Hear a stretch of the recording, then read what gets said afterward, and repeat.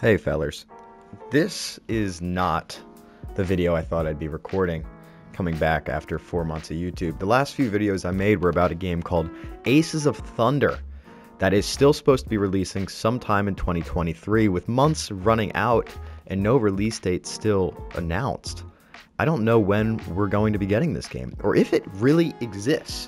Since the announcement trailer, which was very cool, we've had two other announcements.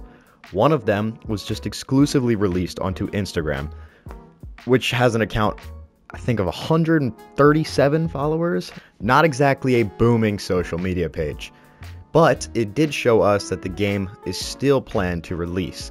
The last video was July 7th, which is two months and about two and a half months from today. And to be honest with you, that's concerning. And when you announce a game that is going to be exclusive to not only the PlayStation, but to a PlayStation VR, what you're going to get is you're going to get people going out and buying HOTAS systems or buying PlayStation VRs. It's behind my mic, I'd grab it. And you have people spending six, seven hundred dollars to play a game that isn't even released yet just because they want to have the hardware for when it does release. That includes me, by the way, not only to play the game, but to make content for it. And since I have now a new apartment, it's not very large, so I don't have space to go and like play games standing up. And since most of the games on the PlayStation VR require you to stand, what I ended up doing was actually buying Gran Turismo and then getting a racing wheel just so I could play a, VR game sitting down and not just have this $700 piece of equipment sitting on the side of my desk. The point is, I'm surprised. I'm surprised about where we are.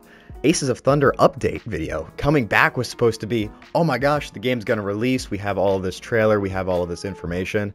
And the only thing that really is getting me excited is that it's VR and that you can control the backseat gunner with the hands, which even that I'm, I'm confused about how that's going to work. Because if I'm using my HOTAS systems and I want to switch to the back seat, do I got to pick up some controllers? I don't know. I don't even know. HOTAS systems aren't even confirmed yet. So there's so much we don't know. Besides that, the number of planes is extremely limited. We now see what the main menu looks like and how you select planes. I thought we'd have a lot more. And to be honest with you, I'm, I'm a little disappointed. This isn't the video I expected to make coming back. Um, I don't even know if the game still exists. And it's very strange because it's still on the PlayStation Store. It still has the website, but you can only wishlist it. And it has an Instagram that nobody's promoting. Even worse, it has a Twitter that nobody's promoting. I mean, look at this thing. It's ridiculous. It's not a small studio behind this project, it's Gaijin Entertainment.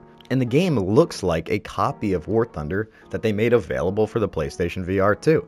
And I wish we had more information, but we just don't. There's not even really online forums about Aces of Thunder because not many people seem to know it even existed or even uh, was announced. And I was really hoping to like set myself up as somebody who could cover the game because I'm super interested in it as a PlayStation War Thunder sim player. Like I am the perfect target demographic. Well, now we have no information. So I will keep you guys posted and keep you updated now that I am back. Finally have things working. Like I have a really nice setup here. I can actually, I'll show you it. It's nice. Got some flags, got some soundproofing. If you're wondering about the Rocket, whoa, if you're wondering about the Rocket League, it's how I record my audio. I just turn the game volume down. Yeah. So I have all of this stuff now, and I'm finally back. I was hoping to cover the game, but it's not going to happen. Not right now, at least. Uh, if something does change, I'll keep you all posted.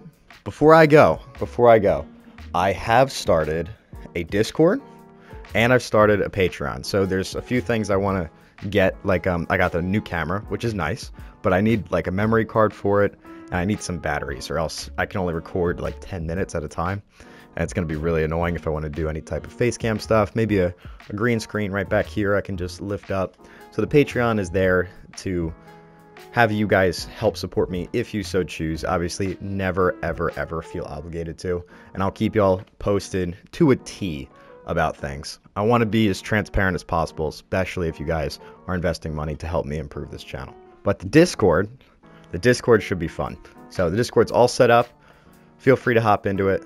I am still new to Discord, um, so you know, go easy on me. If you have any suggestions or things you've seen in other channels and you want to uh, tell me about it, feel free. Go ahead. That's definitely the best place to contact me. And I could use your guys' help with some future videos as well. So I will be, all that information will be on the Discord.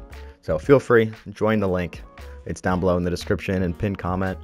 And you guys can go check it out. See ya.